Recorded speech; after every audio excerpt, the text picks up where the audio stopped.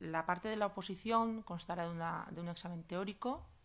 también de unas pruebas físicas, será necesario también superar un test psicotécnico y también unas pruebas de, oficio como albañilería eh, pues, y otro, otro tipo de, gremios que también se deberán, hacer, se deberán hacer pero de manera voluntaria.